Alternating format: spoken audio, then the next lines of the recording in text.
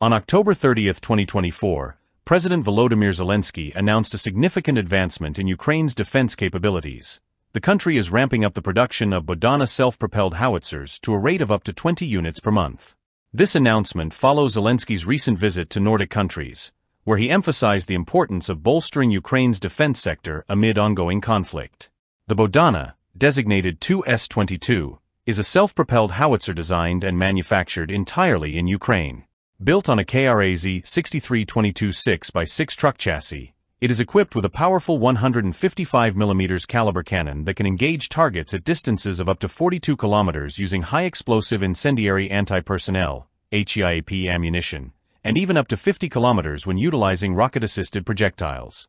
The fact that these howitzers are compatible with NATO standard munitions reflects Ukraine's commitment to aligning its military capabilities with those of its Western allies. This achievement illustrates Ukraine's determination to develop a robust domestic defense industry despite the challenges posed by ongoing military conflict. The Bohdana has been designed with mobility and battlefield adaptability in mind, showcasing innovative engineering that draws inspiration from established systems like the French Caesar and Israeli Atmos wheeled howitzers. The vehicle features an armored cabin at the front and an artillery system mounted at the rear, enhancing both protection and operational effectiveness. Equipped with a modern targeting and fire control system, the 2S-22 Bohdana incorporates a ballistic computer, a computerized fire control unit, an automatic gun-laying system, and a navigation module. This advanced technology allows for quick positioning and precise targeting, critical in fast-paced combat scenarios. With a crew of five, the Bohdana boasts impressive mobility, traversing both paved roads and rough terrains at a top speed of 80 km per hour and a range of up to 1,000 kilometers. It is capable of overcoming various obstacles, including vertical challenges of 0.7 meters, trenches of 1 meter, and gradients of 60%, while also fording water up to a depth of 1.2 meters. Denmark has been instrumental in enhancing Ukraine's military capacity by funding the production of 18 Bohdana units, which were delivered to Ukraine's armed forces as of September 2024. This partnership marks a significant milestone, as Denmark becomes the first EU country to specifically allocate funds for procuring Ukrainian-made military equipment, reinforcing the European Union's commitment to supporting Ukraine's defense efforts.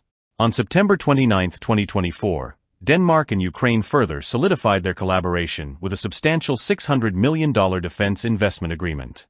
The production of Bohdana self-propelled howitzers at this scale is a remarkable feat, especially for a nation engaged in active conflict.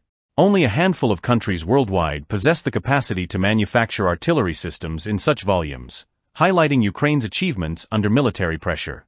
This production not only meets the operational demands of the Ukrainian armed forces, but also addresses the requirements of allied nations seeking reliable and effective weaponry supplies. This development represents a pivotal shift for Ukraine's defense industry, transitioning from a reliance on imported military equipment to establishing a solid industrial base capable of producing advanced systems domestically. The collaboration and support from international partners, particularly Denmark, have significantly amplified Ukraine's production capabilities, enhancing its deterrence potential in the face of Russian aggression. In April 2024, Zelensky had already announced that Ukraine's defense industry produced 10 Bohdanas in a single month. With the current pace reaching a maximum of 20 units per month, the sustained production of Bohdanas has become a cornerstone of Ukraine's defense strategy. By integrating international support into its production efforts, Ukraine not only strengthens its capacity to sustain ongoing military operations, but also prepares for future challenges, reinforcing its resilience against external threats.